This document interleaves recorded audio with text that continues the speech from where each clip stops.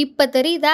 விஜயையே இவ்வளவு கெத்து இவ்வளவு மாசுன்னு சொல்றோம் அப்படின்னு விஜய் ரசிகர்கள் ரொம்பவே கொண்டாட்டத்துல ஈடுபட்டு இருக்காங்க என்ன விஷயம் அப்படின்னா கோட் திரைப்படம் வெளியாகி இன்னையோட முப்பத்தைந்துக்கும் மேற்பட்ட நாட்கள் ஆகுது ஆனா இப்ப கூட கோட் திரைப்படம் சில இடங்கள்ல ஹவுஸ்ஃபுல் காட்டுது. இப்ப வரைக்கும் குடும்பம் குடும்பமாக சென்று மக்கள் விஜய் படத்தையே கொண்டாடிட்டு இருக்காங்க இந்த ஒரு விஷயத்த விஜயனுடைய ரசிகர்கள் ரொம்பவே உற்சாகமாக கொண்டாடிட்டு இருக்காங்க. கடந்த மாதம் செப்டம்பர் ஐந்தாம் தேதி இயக்குனர் வெங்கட் பிரபுவினுடைய இயக்கத்துல விஜய் நடிப்புல கோட் திரைப்படம் வெளியாகி இருந்தது உலகம் முழுக்க வெளியான இந்த திரைப்படம் ரசிகர்கள் மட்டும் இல்லாம பொதுமக்கள் மத்தியிலையும் பெரும் வரவேற்பு பெற்றிருந்தது. இந்த படம் ரிலீஸ் ஆவதற்கு முன்பாக வெளியான பாடல் மற்றும் டீசர்ல கலவையான விமர்சனங்களை பெற்றது. குறிப்பாக விஜயனுடைய டிஏஜனிங் லுக் பத்தி கலவையான விமர்சனங்கள் முன்வைக்கப்பட்ட நிலையில அந்த குறைகளை எல்லாத்தையும் படத்தில் சரி செய்து படத்தை ரொம்பவே அழகா வடிவமைச்சிருந்தாரு வெங்கட் பிரபு. என்னதான் படம் மூன்று மணி நேரத்திற்கு மேலாக இருந்தாலும் கூட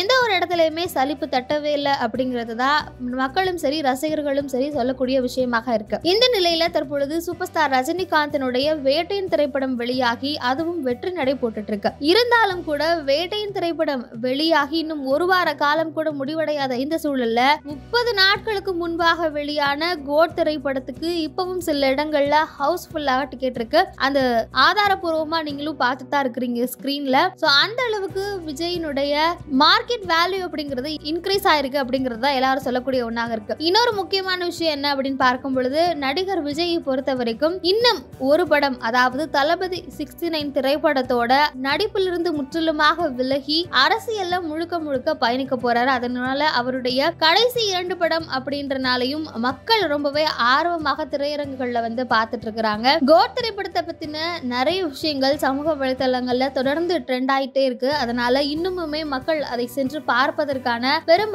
ஆவல்ல இருக்கிறத பார்க்க முடியுது. விஜய் மற்றும் ரஜினி ரசிகர்கள் ரொம்பவே சமூக வலைதளங்கள்ல சண்டை போட்டிருக்காங்க. இவங்களுக்கு தான் புக்கிங் அதிகமா இருக்கு. இவருடைய முதல் நாள் வசூல் பெருசா அவங்களுடைய முதல் நாள் வசூல் பெருசா அப்படின்னு அவங்க ஒரு பக்கம் சண்டை போட்டி கொண்டிருக்கக்கூடிய சூழல்ல வேட்டையின் திரைப்படத்தை நடிகர் விஜய் முதல் நாள் முதல் காட்சியே சென்று ஒரு பிரபலமான திரையரங்குல பார்த்திருப்பதா வெங்கட் பிரபுவும் சொல்லியிருந்தாரு. அதே போல தலைவர் படம் எப்படி சூப்பரா இல்லாம இருக்கும் அப்படிங்கிற மாதிரியான விஷயங்களையும் வெங்கட் பிரபுவிடம் விஜய் சொன்னதாக தகவல்கள் வெளியாகி இருக்கு. விஜய் போய் வேட்டையின் படம் பார்த்திருக்காரு அப்படிங்கிறதே மிகப்பெரிய விஷயமாக சமூக வலைத்தளங்கள்ல பேசப்பட்டு கொண்டிருக்கு. இந்த நிலையில கோட் படம் இன்னமும் ஹவுஸ்ஃபுல்லா ஓடிட்டு இருக்கு அப்படி அப்படிங்கிறது மறுபடியும் ரஜினி மற்றும் விஜய் ரசிகர்களிடையே ஒரு ஆரோக்கியமான மோதலையும் ஏற்படுத்தி இருக்கு தொடர்ந்து வெயிட்டின் படத்துக்கான டிக்கெட் புக்கிங்ஸும் நாளுக்கு நாள் அதிகரித்து கொண்டே இருக்கிறத பார்க்க முடியுது. ஏன்னா தொடர் விடுமுறை இப்பதான் இருக்கு அப்படிங்கிறதுனால இந்த சமயத்துல ரஜினி படத்திற்கான டிக்கெட் புக்கிங்கும் தற்போது அதிகரித்து கொண்டிருப்பதை பார்க்க முடியுது.